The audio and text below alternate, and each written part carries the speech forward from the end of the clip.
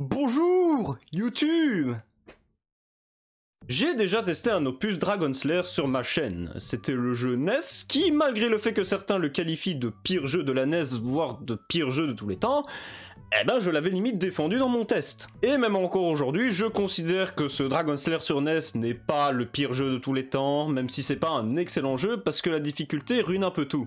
Mais j'insiste bien, ce jeu n'est pas mauvais après, je m'enflamme, mais bon, chacun son avis après. Alors, je ne vais pas vous représenter une seconde fois le jeu NES ou même la licence Dragon Slayer, donc si vous n'avez pas vu la vidéo et que ça vous intéresse, vous savez ce qu'il vous reste à faire. Mais si vous êtes encore ici, on est parti pour...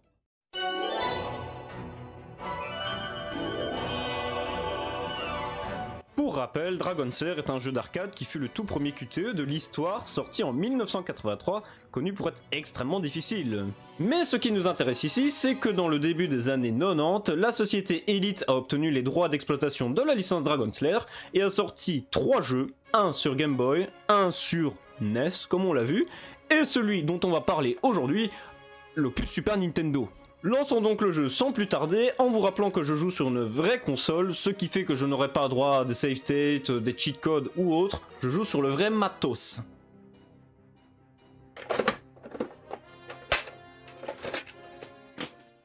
Alors c'est parti, on lance le jeu et nous voici dans l'écran de sélection des niveaux. Putain, je suis en train de faire une Johnny Hallyday là. On lance donc le premier niveau, histoire de nous familiariser avec la maniabilité du jeu. Bon, les déplacements sont sympatoches, les sauts sont un peu bordéliques mais on s'y fait vite. On croisera en chemin divers ennemis, des serpents, des chevaliers noirs, des serpillères sur pattes. Quoi? Et aussi l'ennemi le plus chiant du jeu, les têtes de dragon vert. Ces derniers pop aléatoirement et te collent au cul. Mais bien évidemment, on a de quoi répliquer contre les ennemis. Voyons un peu, nous avons le coup d'épée qui one-shot les mobs, mais ça doit se faire au corps à corps, et l'arme à distance, celle de base, ce sont des haches. Et dernier truc qu'on remarquera, c'est que contrairement à l'Opus NES, un dégât n'est pas égal à la mort, car nous avons 3 points de vie caractérisés par ces boucliers. Et c'est pas hardcore car en plus on peut en ramasser partout. Et les vies on en a également 3, mais on peut trouver à de endroits des cœurs qui sont synonymes d'une vie. Avec tout ça, on réussit le premier level rapidement. Pour ce, on doit trouver le panneau Exit et l'atteindre sans tomber ou dépasser le chrono. Et c'est GG, on peut passer au niveau suivant. Bon bah allons-y, niveau 2, niveau 3, niveau... Euh... Quoi?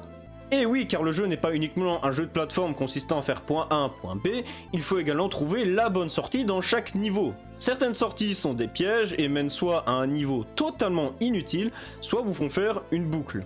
Bon bah ok, ça nous force à explorer les niveaux. Pourquoi pas? Bon là encore ça va, c'est pas trop difficile à trouver. On enchaîne donc sur un niveau dans le noir où en plus on va devoir se taper des phases sous l'eau. Et les passages sous l'eau sont mauvais. Vraiment mauvais. Alors c'est compliqué de le voir quand on n'a pas la manette en main, mais vous devez vraiment spammer votre manette comme pas possible pour pouvoir remonter. Et c'est pas t'appuies, ça te stabilise, puis tu remontes en continuant à spammer. Non. Non, c'est vraiment du tack and field. Et une situation qui arrive plutôt souvent, c'est que tu meurs car tu descends tellement vite que le jeu te considère comme hors champ. Et si c'était que ça, ce serait chiant, mais... Ouais.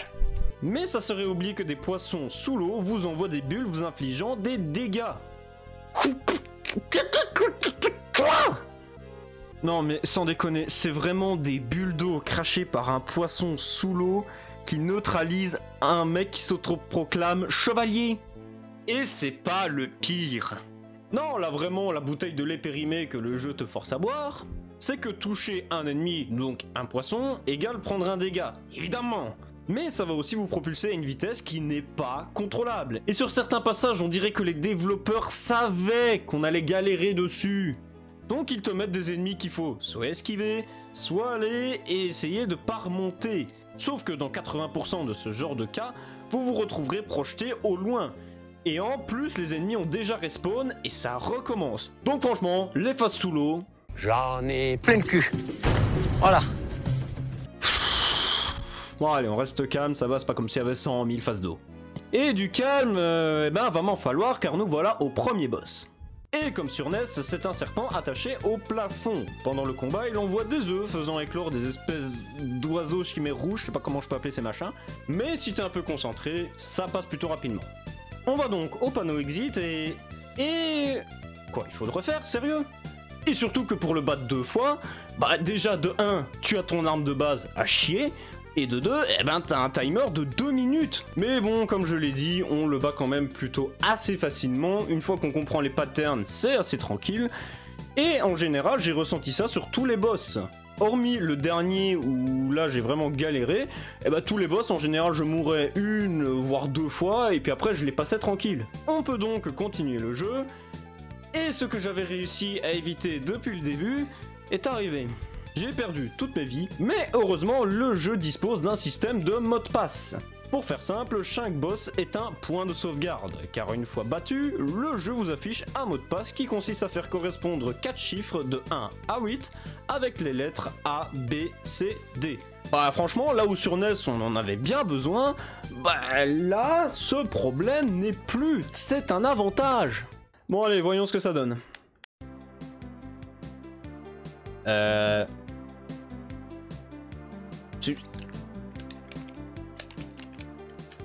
C'est quoi ces... C'est quoi C'est quoi ça?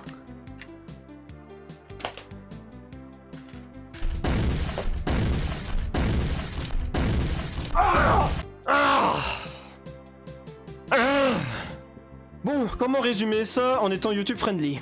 On doit dépasser les quatre lettres sous forme de boule sous l'eau. Vous vous rappelez des galères que j'avais évoquées des phases d'eau précédemment Hein? Alors déjà, non seulement c'est très lent et donc très rapidement rageant, mais surtout, vous n'avez pas droit à l'erreur. Si vous mettez vos boules au mauvais endroit, vous pouvez reset et tout recommencer. Euh, s'il vous plaît, sortez pas la dernière phrase que je viens de dire de son contexte, s'il vous plaît. Mais par contre, si vous coincez une boule dans un coin, toujours aussi dégueulasse, vous pouvez la libérer en forçant en sa direction. Mais c'est juste galérer. Surtout que dans la version américaine, il n'y avait pas ça, c'est seulement dans la version européenne. Mais pourquoi? Nous voici aujourd'hui en compagnie d'un des développeurs de la version européenne de Dragon Slayer. Euh, dites-moi, qu'est-ce que vous pensez des Européens pour avoir changé le système de mot de passe comme ça? Hmm. Hmm. Ah oui, ça paraît plus logique tout à coup. Bon, franchement, ce système de mot de passe, je l'ai fait qu'une fois, euh, parce que ça m'a vite saoulé, je pense que c'est compréhensible. Et malheureusement, quelques minutes plus tard, j'ai encore perdu sans voir le deuxième boss. Oh vas-y, flemme de me retaper le mot de passe, c'est bon, je vais refaire les premiers niveaux.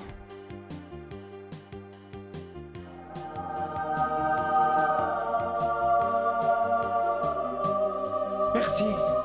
Et oui, si vous avez battu un boss avant le game over, en relançant immédiatement le jeu sans reset la console, vous reprenez votre progression après le dit boss. Adieu les mots de passe Adieu les boules Et à partir de ce moment-là, tu roules littéralement sur le jeu. Franchement, les niveaux qui suivent ne sont encore que des die and retry, difficiles mais tellement courts que t'as pas beaucoup d'infos à refaire. Les niveaux sont certes difficiles parce qu'on parle d'un Dragon Slayer, mais déjà pas autant que sur l'Opus NES, et surtout, bah, comme tu as l'occasion de les refaire plusieurs fois à la suite, bah, à un moment donné, les informations auxquelles tu dois faire attention sur les niveaux, bah, ça va te paraître normal. Aucun des boss ne peut me vaincre, je suis inarrêtable. Bon, il y a bien ce niveau, avec les barils à transporter sous l'eau qui m'a demandé une bonne boîte d'antidépresseurs pour le passer. Ça y est, je vois un volcan au loin. Le boss final, on s'en approche. Un niveau, ok, ça se fait. Un autre, euh, quoi? Euh, Ah ok, il faut pousser une plateforme pour qu'elle nous suive et s'en servir pour atteindre la fin. Ok. Niveau suivant, easy, oui, l'avant-dernier Et... Oh non. Ce niveau est affreux. Sans déconner, c'est vraiment un humain qui a codé ce niveau Le principe est qu'on doit passer sur des plateformes qui avancent et reculent. En plus d'esquiver ces dragons de merde qui portent partout, et il faut attendre que cette plateforme vienne vers nous pour pouvoir sauter dessus, monter au-dessus du niveau et sprinter tout à gauche. Euh... Allô? Euh, quoi mais, il se passe quoi Oh, le jeu Cette plateforme... Alors, cette plateforme, euh, comment vous en parler sans évoquer la crème de la crème de la pub Euh... Hmm, comment dire ça sans que YouTube râle euh, Comme la crème de la crème de la fille de joie. Pour faire simple, j'ai rien compris. Non, vraiment, je, je comprends pas. Des fois, hop, elle passe. Des fois, elle s'active trop tard. C'est un niveau qui m'a dégoûté. il n'y a plus rien. Ça, me fait chier.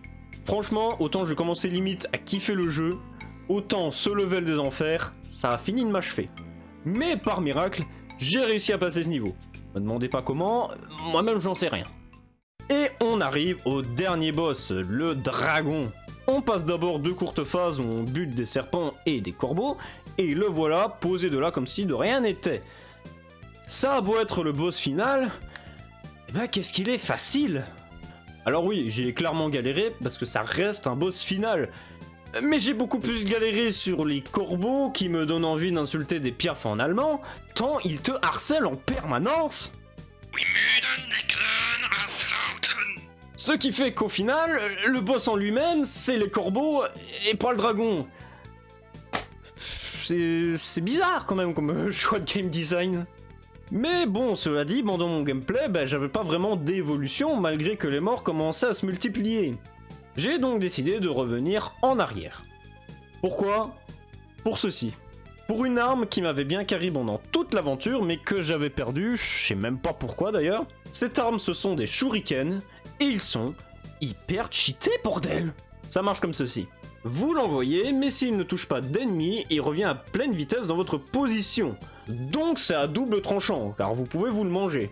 Mais ça fait bien plus de dégâts que les armes de base, et c'est beaucoup plus précis pour tuer les ennemis. Bon allez, on va retenter avec cette arme-là. Bon bah j'ai gagné en me foutant derrière l'endroit où il crache des flammes, j'ai spammé les shurikens en sautant, et c'est passé. Quand je vous disais que ces shurikens étaient hyper cheatés. Et on a terminé Dragon Slayer sur Super Nintendo, let's go Notre récompense pour tout ça Cet écran. Avec euh, Dirk et Daphné dans un cœur et un bref félicitations. Ouais Qu'est-ce que je fais de ma vie, bon sang? Bon, ce jeu, je pourrais m'arrêter là en vous disant qu'il est moins dur que celui sur NES et que je l'ai quand même plutôt bien apprécié, même si ça reste un Dragon Slayer et que la fourberie des fausses sorties ainsi que de l'écran des mots de passe ne m'ont légèrement pas fait rire du tout, mais il y a encore beaucoup de choses à en dire. Déjà, les graphismes sont ok pour un jeu sorti deux ans après la console. Surtout que ce que vous voyez, bon, ça vient de mon matos qui compresse un peu la qualité. Parce que bon, j'ai pas le meilleur matos pour pouvoir record des vraies consoles de ces années-là.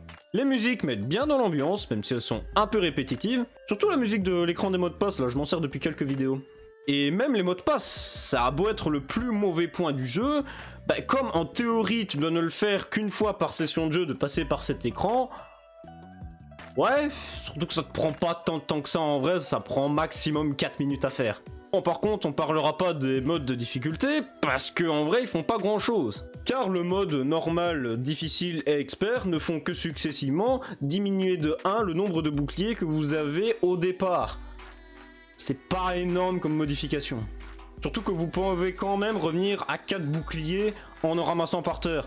Franchement, c'est un bon jeu, pas révolutionnaire, mais ça reste un bon jeu. Plus que l'Opus NES en tout cas, ça c'est sûr. Mais sans vous mentir, je trouve que la vidéo aurait été un petit peu trop courte et assez simple pour ce jeu. Donc comme sur Card Racerama, j'ai tenté le speedrun du jeu. Et c'était assez spécial. Euh, sauf que là, on parle d'un jeu difficile. Et surtout, bah, le seul entraînement que j'avais, c'était 20 minutes avant live. C'est pas une blague. Comment vous dire que j'ai pas été très bon sur ce speedrun? Hmm, Pas du tout. Je vais pas détailler au complet la run, elle est dispo sur ma chaîne YouTube si ça vous intéresse, mais pour faire simple, on va passer au premier niveau par une sortie permettant de skip deux niveaux, on fait le niveau 2 de manière classique. Pour le boss serpent, bien que je suis mort deux fois sur la run finale et que j'ai perdu donc beaucoup de temps, j'ai réussi un bug me permettant de skip une partie du boss, que j'aurais mieux pu optimiser en pouvant skip également la seconde phase. Mais là, bon, écoutez, euh... Non. C'est déjà assez dur à maîtriser de le skipper une fois, je peux vous dire que j'ai bien galéré avant de le réussir une fois. Ça se joue vraiment au pixel perfect, la manip que vous voyez là sur la vidéo. Et on va enchaîner tout le reste sans gros skip majeur, sauf celui qui nécessite de se prendre un dégât d'un shuriken en fonçant dessus et en plus en appuyant sur le bouton de saut au même moment pour arriver directement au baril à emmener sous l'eau. Et pour le boss final, il y a un moyen très simple de le battre, il suffit de se coller à lui, mais en essayant, j'avais pas réussi et il ne me restait plus qu'une vie. Donc je l'ai battu de manière classique. Donc après 2h30 de tentative, je finis ma première run en 26 minutes, 43 secondes et 39 centièmes. Un temps qui est euh, totalement nul face aux autres personnes présentes dans le classement, mais au moins je finis quatrième sur le classement mondial sur 4. Mais au moins je suis classé deuxième d'une catégorie, c'est la catégorie de ceux qui ont joué sur vraie console. Car les deux premiers du classement ont joué sur un émulateur. D'ailleurs regardez, ils ont qu'une seconde d'écart. Vraiment par contre j'imagine pas la déception du, du mec qui est deuxième et qui termine avec une seconde en plus que le record du monde. Franchement, ça doit être dur. Mais franchement, c'est pas facile d'apprendre le speedrun de ce jeu, car comme je l'ai dit, c'est un jeu difficile. Franchement, je tire mon chapeau à ces deux gars-là, et également au numéro 3, qui finit à 12 minutes, car je l'ai essayé, et j'affirme que c'est chaud. Surtout que les deux premiers là, ils sont tellement chauds sur le jeu, et ils ont tellement tryhard, qu'ils utilisent des techniques de tasse. Si vous n'êtes pas familier avec ce terme, ça désigne un speedrun créé par un humain sur un logiciel pour optimiser à fond les moindres raccourcis. C'est ce qu'on appelle donc le TAS ou le Tool Assisted Speedrun. Speedrun assisté par ordinateur. Franchement, le run est impressionnant. Ils verront très probablement pas la vidéo, mais respect les gars. Franchement, c'est beau ce que vous avez fait. Et nous arrivons à la fin de cette vidéo, j'espère qu'elle vous aura plu. Comme je l'ai dit, c'est un bon jeu. Il arrive facilement 5 ou 4ème du classement de mes jeux en boîte. Donc j'ai envie de dire bravo champion. Parce que vu toutes les critiques qu'il s'est déjà mangé, c'est beau qu'il arrive aussi haut dans mon classement personnel. Est-ce qu'on testera un autre jeu Dragon Slayer en jeu en boîte? Peut-être, mais pas tout de suite. Même si Dragon Slayer 3D a l'air franchement intéressant. Comme d'habitude, venez follow sur Twitch, c'est hyper important, surtout que c'est là-bas que se déroulent les tests des jeux. Abonnez-vous à la chaîne, likez, commentez, partagez. C'était Chilé pour ce jeu en boîte sur Dragon Slayer sur Super Nintendo. Au revoir, YouTube.